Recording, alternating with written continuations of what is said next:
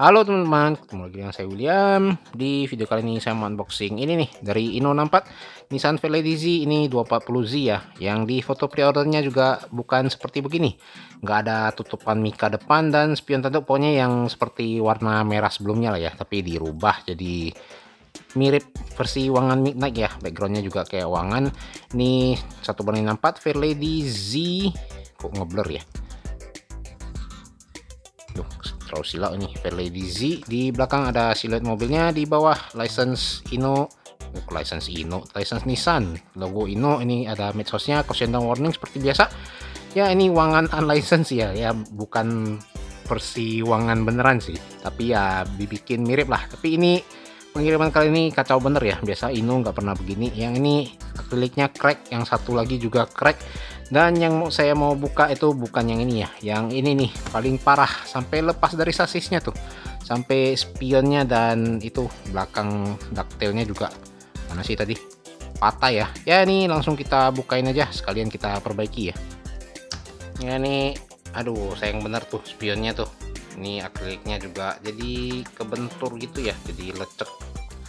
Langsung kita keluarin aja. Nah ini kayak di Wangan Midnight gitu ya? Ya benar-benar license si Wangan sih. Iya. Aduh dulu kan. Ah berpatahan semua. Ini tuh taktilnya juga patah nih. Tinggal hmm, rusaknya parah nggak ya? Wipernya masih nyatu. Catnya ada yang chip nggak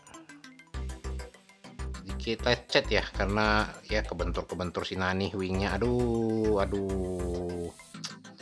Ah ya. Nasib lah.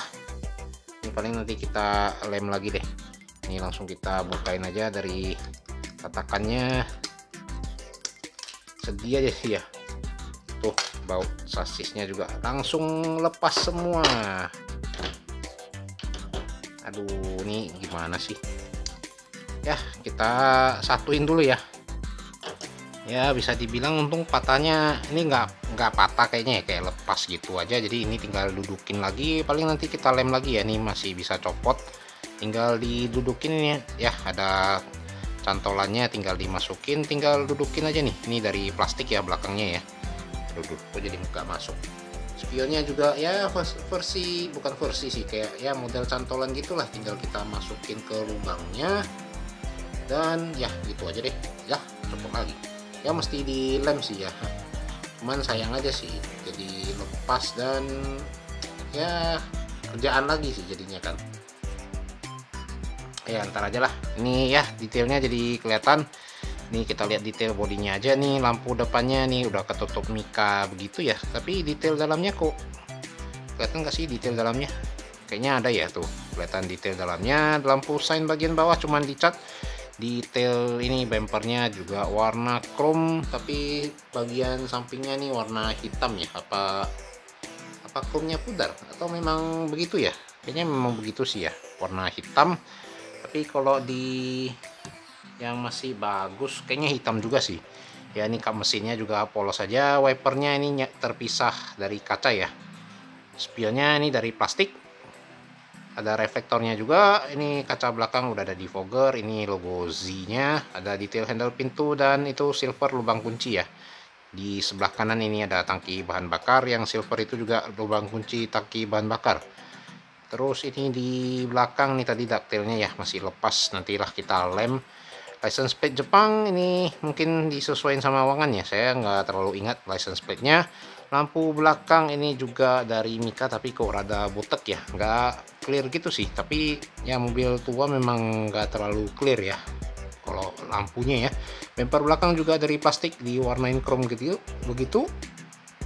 Ini kita langsung lihat detail interiornya aja mumpung udah lepas begini ya. Ini ada tulisan 240Z ini setir kanan ini joknya Sparko yang di kiri nggak ada merek.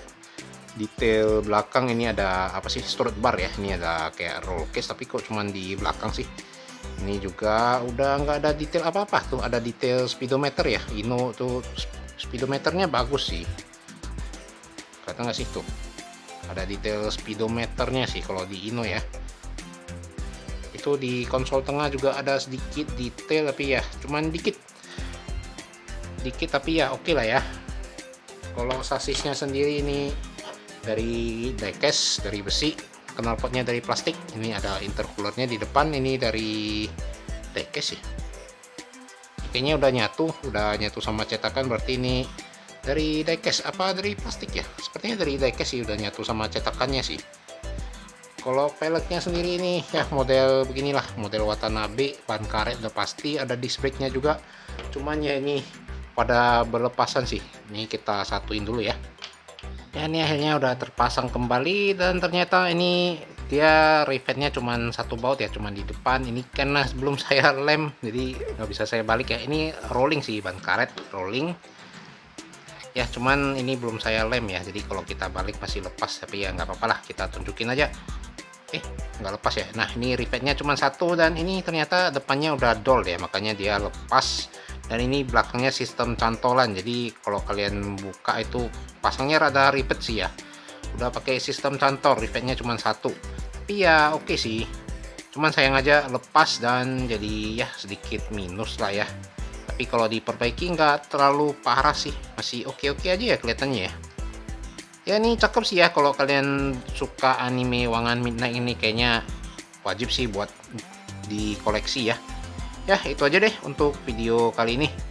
Kasih buat yang sudah nonton. Jangan lupa di subscribe dan kita ketemu lagi di video selanjutnya. Dadah